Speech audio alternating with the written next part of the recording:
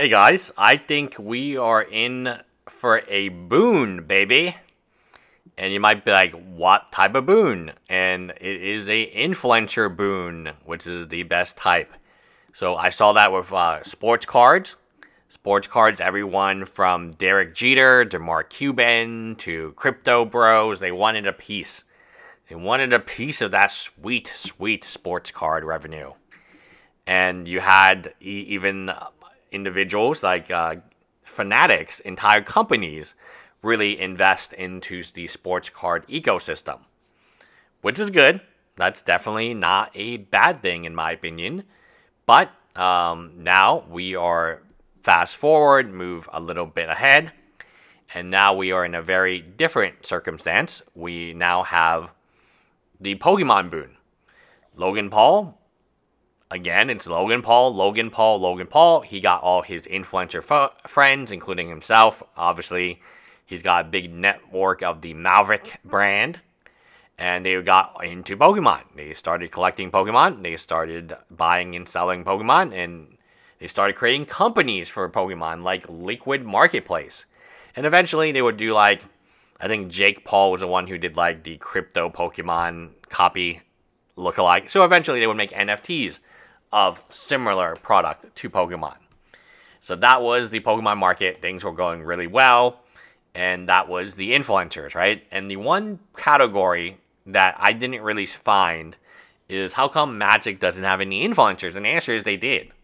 They spent a hundred million dollars on something called the Mythic Player League. You might be what is that? A good question, because it does not exist no more. The reason it does not exist anymore is because it was an absolute failure of a product of a group of individuals who had nothing to do except cancel other people like Teresa Nielsen, the artist. None of these people were entertaining. None of these people had subscribers or viewers or any of them. They didn't have nothing. They still don't got nothing. Combined, they have what? Maybe 1% of of someone like Penguin Zeros combined, and there was like 65 of them, right? These, including these special invites, who now many of them have jobs at Wizard of the Coast. So congrats on failing upwards, right? I always wondered, okay, so Pokemon got Pokemon at the time was the number two card game. I know, surprising, very surprising. But with Logan Paul and the team, yeah, it went to the moon, May baby. It actually had a card called Moonbreon. It went to the moon. And Magic just kind of stuck around. I can tell you, I, I, thought Magic was going to go to the moon too. I thought, of course, the Post Malone thing would have took off. And the problem with Post Malone, it's like a one of. It's not like Post Malone got Taylor Swift to play some Magic or, you know, he, he, he did his thing, you know, Tolarian Community College and Command Zone. And so he, he definitely was a great positive to the game but um, he wasn't. He's not Pay Money Wubby. So Pay Money Wubby is well. He he knows these other influencers like Meat Canyon and Penguin Zero. Penguin Zero is now making a video with Tolarian. That video will blow up. Probably be one of Tolarian's best videos in terms of views. Things are going really well. Uh, we are in the boon, and now we have uh, Assassin's Creed kind of sucks, but everyone knew it would suck. But that Blo- what Bloomburrow, that's going to be a kick-ass set.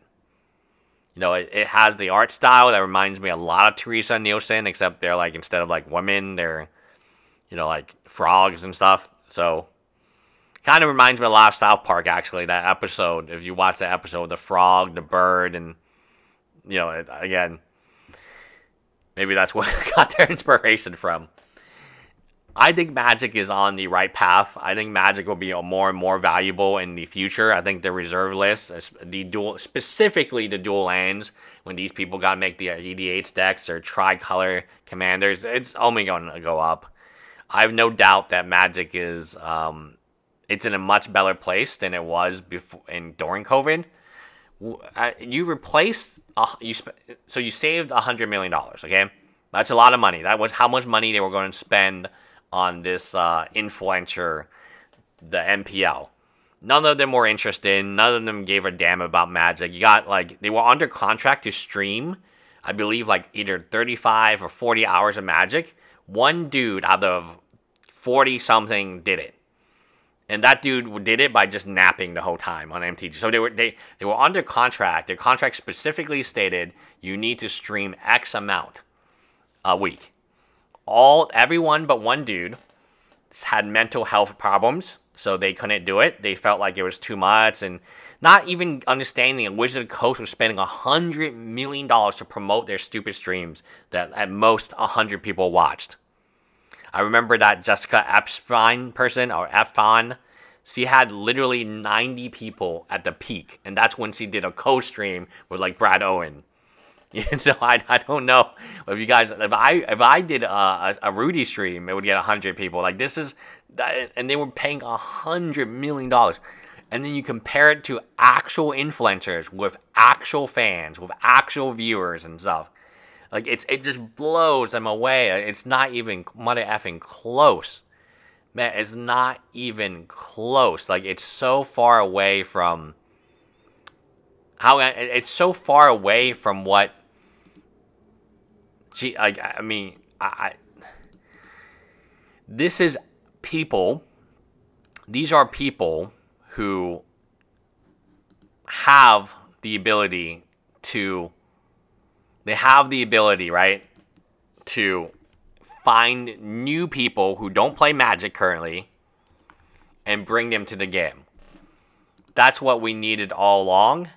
That's what we've always needed and we didn't get that from the MPL. We're getting that from Pay Money Wubby and his uh, friends. Uh, they're new people who have never heard of Magic. Never, maybe they heard about Magic, saw it at Walmart one day, didn't know what it was. Now they know what it was. Their favorite influencer is now promoting it. Um, they're they're like, oh, that looks cool. That looks like a fun time. It looks like they're having a good time playing the game. And Magic, for all its flaws, I've never said it was not the best mechanical game.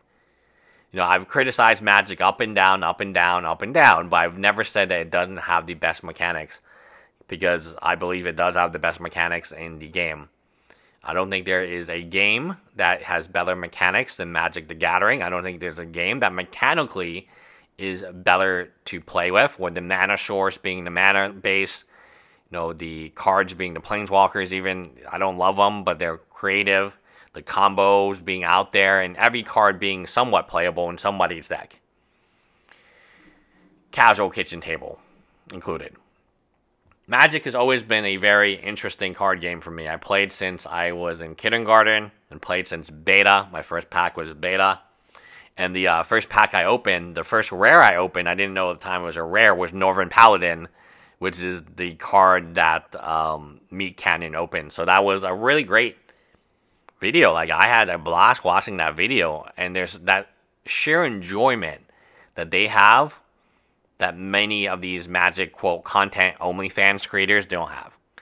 So I mean, come on, they're only fans, right? They found a niche market of Magic geeks, right, who don't have girlfriends or wives, right? So then they sell their blank corn pictures, if you will. They sell their corn pictures to these desperate individuals. And uh, that's Magic the Gathering influencers in a nutshell until the actual influencers came along.